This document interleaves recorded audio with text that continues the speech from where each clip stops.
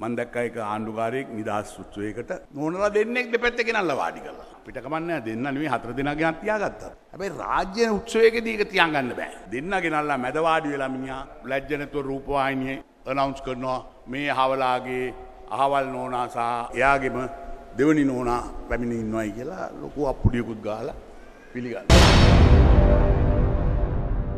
එක්දා විස්සයි පාලුවේදී ජනවාරි අටවෙන්ද අපි පරාජය වුණට පස් පීටපු ආණ්ඩුව තුළ වැඩියෙන්ම පීඩනයට ලක්වුණේ කවුද කියලා ඇව්වොත් තමුන්වහන්සේලා පිළිතුරු දේවී අපි තමයි මේ පීඩනයට ලක්වුණේ කියලා මේ රටේ කාන්ත පරපුර තමයි වැඩිම පීඩනයට ලක්වුණේ.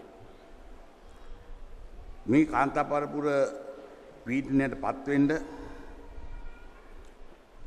අපි එදා කාන්තාවන් වෙනුවෙන් ඔවුන්ගේ ස්වැන් රැකිය අවස්ථාවන් ලබාදීම සඳහාගත් පියවර ඒ සැල්ලම කඩාහැරුණු. කාන්තාවට තිබිච්ච ඒ නිදහස අයිතිවාසිකම ක්‍රමාණුකුලුව නැතිවෙලා ගිය. ඔය මේ ආණ්ඩුව කාන්තාවන්ට හොඳ රැසියාවත් දුන්නා. දසලක්ෂය රැකයා දසලක්ෂයක් දෙනවයි කියලා පොරුන්දුුණුවයි ආණ්ඩුව තමුන්නාන්සලා ඔක්කෝටම විශේෂයෙන්ම දෙමව්පියන්ට පාසැල් මුර කරන්ඩ අවස්ථාවක් සලසල දුන්න. දී ඒක බලන්ඩ කරලදී මේ ආණ්ඩුවෙන් කරේ කාරිය. ද අමතර දෙයක් නම දැකලා නෑක.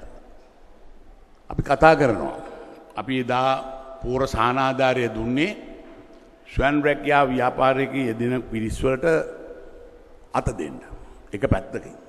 ඒ ඇනි කෘෂ්කාර්මික පැත්තෙන් මල් වවනාය හිටිය අද මල් වලට කිසිම ඉල්ලුමක් නෑ ඒ ඒ වගේම ගම්මිරිස්ද මොනවද වගා කරේ හැම සියල්ලම කාන්තාවට තමයි ඒක අවසාන බර පැටලු. ගොද මිල එදා තිබිච්ච මිල නෙවෙයි අද තියෙන්. ඒ හැම දෙයක්ම පහත වැටුලා. ඒ තුළ ඒකම කුස්සිය මිල වැඩි වුණා. අපි කතා කරන්නේ නැති වුණාට අපි දන්නවා අද කුස්සියේ තියෙන බර කාන්තාවට දැනන්න පටන් අරම් තියෙන. අද මොන තරං මේ රටේ තත්ත්වය කොච්චරද කිව්වොත් එක වේලක් කාල ජීවත්වන පිරිස් කියක් ඉන්නවාද මේ රට තුළ. මන්ද පෝෂණය වැඩි වෙලා තියෙනවා. අද මන්ද පෝෂණය නිසා තිස්ස මහරාමි එක්සත් ජාතික පක්ෂී පවුල්ලක තාමත් කොළපාට කොඩිය දාගෙන ඉන්න පවුලක දරුවෙක් මන්ද පෝෂණය මිය යනෝ. මන්ද පෝෂණයෙන් මිය යනෝ. හැව්වද මේක. මන්ද පෝෂණයෙන් මියගේ දරුවන් ගැන අපි හැව්වද මීට ඉස්සර. අනුරාධපුරෙන් අපිට හැනෝ මුරුංග කොළ විතරක් කාලා ජීවත්වන පවුල්. එවැනි තත්වයක් රට තුළ ඇතිවෙලා බිහි වෙලා නිර්මාණය වෙලා තියෙනවා. මේ සියල්ලටම වග කියන්න ඕන කවුද. අලි දෙන්නම් කොටි දෙන්නම් කාර් දෙන්නම් මොටසයිකල් දෙන්නම් කියලා පොරොන්දු වෙලා ආපූද විය නෙවෙයිද. බයිසිකලුත් දෙන්න කිය පොරොන්දුන. බයිසිකල් දෙන්න පොරුන්දුන. මම දුන්නු බයිසිකලින්ම ගිල්ලා අනි පැතර චන්දක ආපු අයට දැන් බයිසිකලෙත් නැතිවෙන්න යනවා. ගෙවන්ඩ වෙලා ආපව්. එගින්ද හැම දේකටම හැම අයටම පහර වැදුනා. මම දවස් පනස් එකක ආපව් අගමැති පදවිය ලැබුවම මුදල් ඇමතිවර අවශ්‍යනු අපිට පුළුවන් වුණා පූර සානාධාරය නැවත ලබා දෙන්න. අපි කරේ ජනතාවට තිබිච්ච තද පීඩනය නැති කරා. අපි මේවා මේ රජය මේ තත්ත්වෙන් තියෙන වෙලාවක තමයි ජාතික ආරක්ෂාව පිළිබඳ මේ රට ඉතිවිච්ච තත්ත්වය සම්පූර්ණයම වෙනස් වුණේ. අපි යුද්ධයක් අවසං කරා අද මේ අර පොඩි දරු පැටවුටික ඇවිල්ලා යුද්ධය එදා තිබිච්ච යුද්ධය පිළිබඳව තිබින කුරත්වය පිළිබඳව පෙන්නුම් කරා. ඒ යුද්ධෙදී කැබිති ගොල්ලාවට ගැහුවා. අරන්තලාවේ හාමුදුරුවරු මැරුණා කාන්තක් කුඩියේ පල්ලියේ එකසිය හතලිස් ගානක් මුස්ලිම් පල්ලිය තුළ මරා දැම්ම. එතරින් නැවතුනි නෑ ශ්‍රී දළදා වහන්සේට ඊළඟට ශ්‍රීමහා බෝධීන් වහන්සේට පහර දුන්න. කොළඹට ඇවිල්ල බෝම්බ දැම්ම අර පොඩි ආශ්‍යන්ත්‍රාවලින් ඒකටය පාවිච්චි කරපු එදා. ලෝකයේ කූරතම ත්‍රස්තවාදී සංවිධානය ඒ දමද්දී සියල්ලම කරද්දිත් අපේ ජනතාව බය වුණේ නෑ. මේ තරම් බය වුණේ නෑ. අද වගේ. මොක ජනතාවට තිබුණ අවිශ්වාසයක්. ස්ථාවර ආණ්ඩුවක් තියනවා ආණ්ඩු තියනවා. තමන්ගේ ආණ්ඩුව ස්ථාවරනං තමන්ගේ ආණ්ඩුව අපිව රකිනවා කියලා විශ්වාසයක් ජනතාවට තියෙනවන එයට බයවින්ද හේතුවක් නෑ.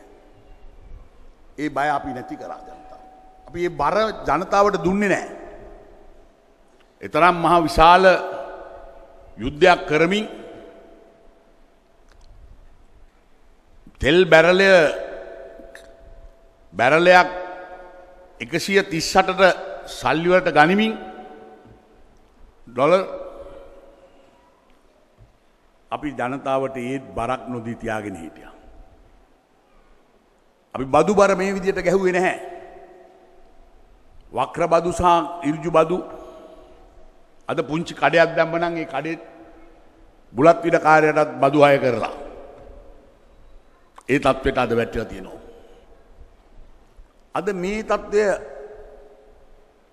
තියෙනකොට අද මිනිස්සු බයේ ඉන්න.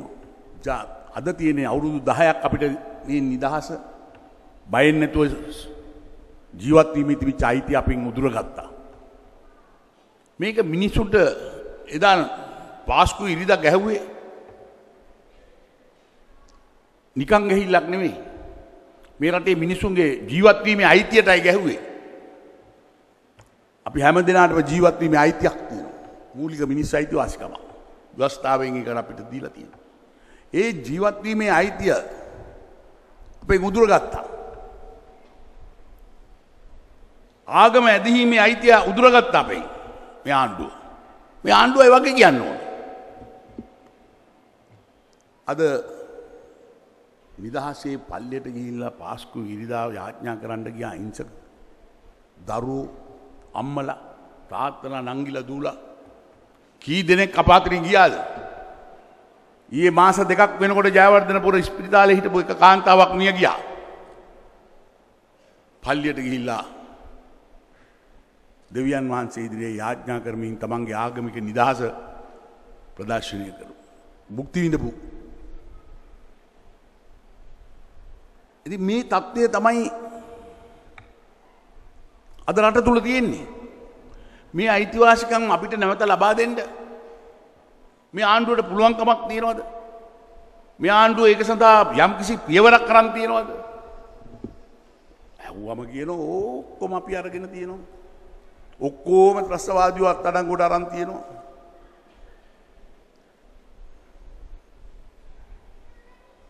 මේ විදියට කියනවා. ත්‍රස්තවාදිය අදරනකොට ඔක්කොම අරගෙන තියෙනවා කියලා කියනවා. හැබැයි ෆොන්සේකාමතිතුමා. අපේ කාල යුදා යුද හමුදා පතිවරයා. එතුමා කියනවා ඔය කොයි කයිවාරු ගැව්වත් සියට සීයක් මේ ආරක්ෂාව තියෙනවා කියලා ජාතික ආරක්ෂාව එහෙම එකක් නෑ එක බොරුවක් හෙට අන්තවාදී ආගම්වාදියකුට හිතුනොත් උඩට යන්නේම නැත්තං කන්‍යාව හැත්ත දෙන්නෙක් ගණ්ඩ උඩට ගිහාම ඒ වුණොත් මන්තිලගෙන වනා අපි ඔක්කොම ඉවරයි ඇවිල්ලා බෝම්බයක් පුපුරගෙන මෙතන මැරෙන්නත් හැකි. ඒකනේ ඇත්ත. එහෙමනම් ඒ ආරක්ෂාව අපිට තියද? මේක ගෝලීයකරණය ගැන අපි කතා කරනවා. ISIS සංවිධානය එතනින් ඇවිල්ලා මෙහාට ඇවිල්ලා අද ඉන්දියාවෙත් ඒ ගැන තැකීමක් තියෙනවා. නොත් මෙතන ප්‍රශ්නය එක නෙවෙයි. මේ බෝම්භකරුවා බෝම්බය පුරුවන්ඩ ඉස්සෙල්ල අල්ලගත්ත බැරි වුණේ ඇයි. එක මංකිව මේක ආණ්ඩුව වග කියන්න ඕන කිය. හතරවෙන්ද ලැබුණා ඉන්ෆෝමේෂන් එක නං ගං ගහන වෙලාව ගහනායගේ අයිඩෙන්ටිකාඩ් එක ඇඩ්‍රස එක ඔක්කොම තියෙනවා. නමුත් මේකට ක්‍රියාත්මක වුණේ නෑ මේ චන්දයක් හින්ද. චන්දයක් බලාපොරොත්තුයි. අපිට මුස්ලිම් ජනතාවගේ චන්දය නැතිවෙයි. හැම මුස්ලිම් ජනතාවක්ම මේකට සම්බන්ධ නෑ ඒ ත්‍රස්තවාදයකු කීප දෙනෙක් ගේ වරදක්. හැබැයි අද සියලු ජාතින් බියෙන් ඉන්නේ සිංහල අබියෙන් ඉන්නේ. ආගමදීමෙන අයිතිය නැතිවෙනකොට බෞද්ධයාගේ ආගමත් ඇදීමෙන අයිතිය නැතුව වෙසක්කට ගිය නෑන කවුවත් බල පන්සල් ගියාද. අනුරාධපුරේ ගියාද. නෑ බයෙන් හිටියා තොරණක් බලන්න ගියාද තොරණක් නෑ බකින්ද. බෝයට. එමන මොකක්ද මේ නිදහස. ආගම ඇදිහිමේ නිදහසක් තියද අපිට කවුරුවත් ගිය නෑ පොසොන් එකටත් ඒ වගේ තමයි. බයින් මේ තත්ත්ව ඇතිවුණ. ඇති මේ මේකත මේ තත්ත්වයට කවුද වග කියන්න. අර මේ සියලු දේ ලැබුණු තොරතුරු අනුව ක්‍රියාත්මක නොකරපු උදවිය. මේක මුලින්ම දැන් එක ඇමතිවරයකුගේ තාත්ත කෙනෙක් කිව්වලු පුතේ අද යන්න එපා. පල්ලියට අද ගහනෝ කිව්වලු. මේ ඇමතිවරයට යුතුකමත් තිබුණේ නැද්ද කතා කරලා කියන්න පල්ලියට බිෂප්තුමා කාඩිනල්තුමා නැතං සෞදරිය සෝයුරයා හරි කියලා මෙහෙම එකක් තියෙන ආරංචියක් එක හින්දට අප පරිස්සං වෙන්න කියලා කියන්න බැරිකම තිබුණද? දැ මේ තත්ත්වය පියාට කියන්න බැරිකම තියෙනවද? ඇයි මෙයාට දැන්නුව කියල එක? ප්‍රශ්නය ගැන සෙව්වද? සාධාරණ සෙවිල්ලක් සෙව්වද? ඇයි මෙයාට මේක දැන්නුවේ කවුද කියලා? මොද ඌ ගැන වැඩියෙන් සැක හිතෙන්නේ මරාගෙන මැරණ බෝම්භකරුවෙකු ගේ පියාට ඕ මරාගෙන මැරණ බෝම්භකරුවාට විශාල ටෙන්ඩරයක් පහුගේ කාලෙ ලබා දුන්නු එක පිළිබඳව ප්‍රශ්නයක් මතු වෙලා තියෙනවා. අද කතා වෙනවා මොදන්න මේවා අද කතා වෙනෝ එක පාර්ලිමින්තුව තුළ ජනතාව තුළ. ඉති එහෙමනං මේ ප්‍රහාරයට ගොදුරුවෙච්ච ජනතාවට තාම මුකුත් ලැබිල නෑ. අනි පැත්තෙන් ඒ අය මේකට සම්බන්ධ වෙච්ච උදවිය පිළිබඳ හරියට තාම අත්තඩංගුඩ කරගෙන නෑ අපි කියන විදියට. කාඩිනල්තුමා ඊයේ පිරිද රෝමේදී අඩ අඩා කතා කරා මිගෙන්. ඉති මෙවැනි තත්ත්වයක් රට තුළ බිහි කරලා තියෙන වෙලාවේ පිටරට කියන්නේ මොකක්ද. නාලිකාවල පිටරට කියන්න නාලකාවල මේ බෝම්බය පිපිරෙව්වේ සිංහල බෝම්බය ගැන කතා කරන්න දැන් ඒ මිය ගිය අය ගැන කතා කරන්නේ නෑ දැන් මේ සිද්ධීන් දෙකක් ගැන මිනුවන්ගොඩ සා කුලියා පිටිය සිද්ධි දෙක අල්ලලා සිංහල බෞද්ධයා මුස්ලිම් ජනතාවට ප්‍රහර දෙනවා. දේපල කුඩු කරනවා ගිනි තියෙනවා. දෙක කියන්නේ. එතකොට මේක සිංහල බෞද්ධයාට මාලිගාවට ගහනකොට අරන්තලාව මරණකොට ශ්‍රීමාබෝධීන් වහන්සේ ගාව මරණකොට පහර දෙනකොට එක සිංහල බෞද්ධයෙක් නැකිට්ටේ නෑ. ඉවසීම තිබුණ බෞද්ධයට. එතකොට මේක සිද්ධිය වෙලා වෙදී කාඩිනල්තුමා දුන්නු නායකත්වය. නිසා කතෝලික ජනතාව නැකිට්ටෙත් නෑ. හැබැයි මාසකට පස්සේ මේ සිද්ධීන් සිදුවනේ කාගේ වුවමනාවටද. මේක පිටිපස්සේ ඉන්නේ කවුද? මේක සංවිධානාත්මකව මේ ත්‍රස්තවාදය ක්‍රියාත්මක කරයි කියලායි මම නම් කියන්නේ. එහෙම නැත්නම් ඒ සිද්ධිය වෙන්න විදියක් නැහැ. බෞද්ධයා එහෙම නැගිටවන්න පුළුවන්කමක් නැහැ. මොකද ආගමික සංහිඳියාව ආගමීම තුළ තියෙන හික්මීම දරුව අපේ අය ගව තියෙනවා. එ මාසකට පස්සේ මේක නැගිට්ටියෝ. දී ගැන හෙව්වාද බයිසිකල් වලින් ඇවිලා ගැව්වයි කියලා කියනවා ඒ ගැන සිවයි. එමනම් මේකට වෙනත් හේතුවක් සිද් හේතුනාද කියලා. ඉති මේවා මේ අනුව අද අපි ඔක්කොම් බයෙන් ජීවත්වෙන වගේම මුස්ලිම් ජනතාවත් බයන්නේ ජීවත්වෙන්නේ. රාමසාන්තමදුව බයි. ඉති ඒකට තසාධාරණයක් මේ බෝම්භකරුව විසින් කරා. මරාගෙන මැරෙන ආගම අන්තවාදීන්. මුස්ලිම් ප්‍රජාවට තියන ලොකු අයිතියක්. මේ දරුණු ආගම්වාදී අර ත්‍රස්තවාදයට ඉන්න පොම ටික දෙනයි මරාගෙන වැදෙන. නුත් අන්තවාදය ගොඩක් ඉන්න.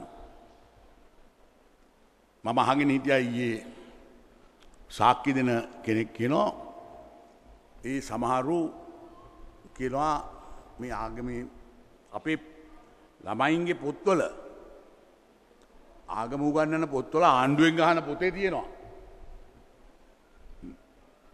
මැරුවොත් මේ ආගම අධාරලා ගියොත් ආපහු ආගමට වරෙන් කියපන් එහෙම නැත්තම් මරල දාපන්. කියලා දෙමළ වචනය අර්ථය ඒකයි කියලා මට තේරුණ ඇටියට. මම කියන්න නිවැරදි කිරීමට යටත්ව. ඊය සාක්‍යවල එක මුස්ලිම් අයි ඇවිල කියනවා. එය කියන අපි දාහතේදි මේවා කිව්වා. අපේ කාලේ මේවා ගැන සෙව්වා. අපි හැම මිනිහෙක් ගැනම කොහෙද යන්නේ කොතන දෙන්න කියලා බලාගෙන හිටිය. ඒකට වෙනම යුනිත් හැදවා. සමහර නිලධාරී ඇමරිකාවට යවල අපි පුහුණු කරා. ඒව කරලාත් මේ තත්ත්ව ඇතුව. ඒක තමයි ඒව කරලා තමයි මෙතෙන්ට ආය මේ කට්ටිය ඔක්කොම ඒ කට්ටිය අයින් කරලා දැම්ම. භාගයක් හිරේ 40 ගාණක් හිරේ. භාගයක් රට අත ඇරිලා ගියා. සමහරු වෙනත. ඉතින් මේ තත්ත්වයක් ඇති වුණා. ඉතින් මේවා පිළිබඳවත් ඔබ කල්පනා කළ යුතුයි. ඒ වගේම අපි මතක තියාගන්න මේ රට අපි අපි දැන් අපි අපි කාන්තාවන්ට මේවා කියන ගමම්ම මන්තා කතාවක් අර උදාහරණ කියලාවා. අද එදා මම අධිකරණයට යනකොට උසාවි යන කාලේ වැඩියෙන්ම තිබුණේ මිනිමැරුන් නඩු අපේ ගම්වල. ඇමිලි පිටි උසාවිය වලස්මුල්ල උසාවිය තංගල්ල තිස්සමාරාම ඔය ගිය යන හැමතැනම තිබුණේ මිනිමැරුන්. මම මේ ළඟදි ඇමිලි පිටි උසාවියේ නීතිඥයෝ වගේක් හම්බ වෙලා ඒ වගේම මාතර නීතිඥයෝ වගේක් හම්බ වෙලා ඔවුන්ගෙන් ඇදුවා අද වැඩියෙන් තියෙන නඩු මොනවද ඉස්සර වගේ. ඉස්සර වගේ ස මිනිමැරුන් නඩු මිනිමැරීමට තැත් කිරීමේ නඩු අද දැහැ. ඒක යුද්ධ කාලෙදිම ඔතුමා නිදහස ලබා දෙනකොටම ඒ නඩු ඒමම අඩු වුණා. හැබැ අද වැඩියෙන්ම තියෙන්නේ දික්ක සාධ නඩු. අද වැඩියෙන්ම තියෙන්නේ දික්ක සාධ නඩු. තරුණ ජීවිත. බඳිනවා දික්ක සාධ වෙනවා. අවුරුද්දයි දෙකයි තුනයි. මාතර උසාවියේ දැන් යන්නේ මේ අවුරුද්දට පාලොස් දස් ගණන්. ගැන මේ අවුරුද්ධ තුළ දික්කසාදනට පාලොස්දා. මේකට මොකද හේතුව. අපි කියනවා අපේ කාන්තාවන් ගැන කතා කරන ඔුන්ගේ අයිතිවාසිකම් ගැන කතා කරන. අද නීතිය පිළිබඳවත් ප්‍රශ්නයක් තියෙනවා මටන. මම ඒ දවසලත් කව මේ නීතිය ගේන කොටත් මම ඉතරම් කැමති වුණේ නෑ. නමුත් ගෙනවා ඒ නීතිය ඇත් එක හේතුවක් වශයෙන් තමයි මම දකින හැබැයි මේකට වෙන හේතු තියෙන. අපි අපි කෑගහනවා මුස්ලිම් කාන්තාවන් විශාල වශයෙන් දරු දරුවෝ විසි අට දෙනෙක් ගෙදරක ඉන්නවා. කාන්තාව හතර දෙනාගේ. අපේ ගාව සිංහල කාන්තාවෙන් ඇහුවම වැඩිමුණුත් එක්කෙනයි දෙන්නයි. නේ වැඩිමුණුත් තුනකට යයි. ඒකත් අපි අමාරුවෙන්. මම ලක්ෂයත් එතුමා හරි එතුමා හතරක් දාලට. එතුමා හරි. ති හැබැ කොහොමුණත් එතනත් තියනවා ඇහු අප කියන්නේ ළමය ස්ටියෂන් කන්න යනවා ඉතින් රෑ වෙලා එන්නේ මාන්සී ඉතින් ඉන්ඩම් එම කෙරෙන්නේ නෑ කියලා. මං හිතන මේකත් එක්තර විදික දරුවෙක් මම නං මේකට විරුද්ධයි එක දරුවෙකුල් මේ කුඩා පවුල් රත්තරං කිය කිය කියන කතාව සම්පූර්ණ බොරුවක් මොකද ලොකු පවුල් තමයි රත්තරං වෙන්නේ. මගේ පවුලේ අපේ තාත්තට නම දෙනයි. පොඩි නෑ අපපුඩි ගන්න එපා. ඉති අපේ නම දෙනෙක් ඉන්නක දැන අපිට ලොකු හයියක් තියෙන පවුලකට. ඉතින් ඒ වගේ ශක්තිමත් මම හැමදාම විශ්වාස කරහෙමේ. හැබැයි ඉතින් අපිට ඉන්නේ කෙනයි නැටන් දෙන්නයි තුන් දෙනයි පැටිමුණොත් තුනයි. බැසිල් මාතර ඉන්න මගේ දන්න අතරත්ද පාද්ද. අතරක් ඉන්න. කොහොමරි මේ අද පවුල් අඩු කරනවා. ඒකට ආණ්ඩුව මැදිහත් වෙලා තියෙනවා පවුල් පාලන අන්සේ. ආණ්ඩුව මැදිහත් වෙලා ආණ්ඩුවේ මම හැව්වම කියනවා මිඩ්වයිෆ්ට මනිනවලු යම් කි සිද්ධයක් වුණාම. චෝදනාපත්‍ර ඉදිරිපත් කරනවා. වෙනම අන්සයක් ක්‍රියාත්මක වෙනවා පවුල් පාලනය කරන්න. රජයෙන් පඩිගවන්නේ රජය කරන්නේ. මේක තමයි තියෙන ප්‍රශ්නය. ඉති මංහිතනවා මේවා පිළිබඳවත් අපිට නැවත හිතන්ඩ වෙනවා. කියලයි මගේ විශ්වාසය. ඒක වුණත් කාන්තා සංවිධාන ඇති කරන ගමම්ම අපේ සංස්කෘතිය පිළිබඳ හැඟීමක් අපේ සාර ධර්මයන් පිළිබඳ හැඟීමක් අපි පවුල් ජීවිත ගැන යන ඒක තියෙන වැදගත්කම පිළිබඳව දේශන මාලාවක් තියමින් මේ කාන්තාවන් වඩාත් දැනුවත් කර ශක්තිමත් කර සමාජයේ සමාජයට ඉදිරිපත් කිරීම වගකීමකුත් අප දේශපාලන පක්ෂවල කාන්තා සංවිධානුවලට තියෙනවයි කියලයි මම විශ්වාස කරන්න. එක නිසා මම දීර්ග වශයෙන් කතා කරන්න යන්නේ නෑ. මොකද කතා කරන්න යොත් කාන්තාවට තා නොයෙක් දේවල් කියන්න සිද්ධ වෙනවා. දැන් නීති පිළිබඳව කියන්න වෙනවා කිව්වේ නෑනමිහින්නේ. දැන් අද නීති කියත් තියෙනවද පෞද්ගලික නීති. එකන්නේ පර්සනල් ලෝස් කියලා. තේස වලාම උඩරට නීතිය උඩරට නීතිය සහ මුස්ලිම් නීතිය. සරේ ඒ නීති වහේ එකක් ඉඩං පිළිබඳව එකක් විවාහ පිළිබඳව මහි දැන් උඩරට විවාහ නීතිය දැන් ක්‍රියාත්මක වෙන්න අඩුයි මං මන් දන්න තරමට නමුත් මුස්ලිම් නීතියේ වයස සීමාව මට කාන්තාවක් මෙ පහුගිය දවසේ ලොකු රැකියාවක් කරන කාන්තාවක් ඇවිල්ල කියනවා උගේ වැඩ තානන් කල්ලම අපිත් එක දේශවාලනය කාරයුත් එක කතා කරයි කියලා. ඇයගේ. ඇය වයස හත්වෙනි පන්තියදි කසාද බැන්දේ. තාත්තා ගෙන්වලු ගෙදරට අම්ම ගෙන්නල්ල කියවලු බැටපන් කියලා. ජීවිතයට දැකපු නැති මිනිහෙක් බැන්ද. වයස දාතරවෙනි පන්තිය කියක් විතර වෙනයි ධාතුනක් යන්තන් දහතුනක් විතර වෙන වයස මං හිතන්න. දරුවට. ඒ දරුවෙක් විවාහ කරලද. විසියක වෙනකොට දරුවෙක්. විසියක වෙනකොට දරුවෙකුත් ඉන්න දික්කසා දැත් වෙලා. දික්කසාද නඩුවේ. එක මුස්ලිම් නීති අනුව ඉතින් විකසාදවීමික එතන පස්න නෑ වෙන කෙනෙක් බෑ දෙවනි කසාදය බැන්ද. එයාවිල මෙයාව දික්ක සද කරේ එක හේතුවක් මැය මැය සෙක්ස් පිළිබඳව කිසිම දෙයක් දන්නේ නෑ. වයස දහතුනේ දරුවකින් මොකද බලාපොරොත්තුවෙන්. ඉතින් අද සමාජයේ සමහරු නික නීතියක් තියනවා යාවන්න පුළුවන් හතරක් පුළුවන්න. මන්දැක්ක එක ආණ්ඩුකාරයෙක් නිදහස් සුත්‍රයකට නොනලා දෙන්නෙක් දෙ පැත්තක නල්ල වාඩි කරලා. ඉතින් ඒ ඒක පිට කමන්න දෙන්න නේ හතර දෙනා ගෙනත් තියාගත්තත්. හැබැයි රාජ්‍ය උත්සවයක දීක තියන් ගන්න බෑ. මම ලෝකේ රටවල්ලට ගීල තියෙනවා ඒව රටවල්ල දත් ඒ අයට කාන්තාව ඇති ඕන තරම් බැඳපු අය නීතියානුකූල මුස්ලිම් රටවල් වැගන්න එක් කෙනයි. රාජ්‍ය උත්සවයට එන්න පුළුවන් එක් කෙනාටයි.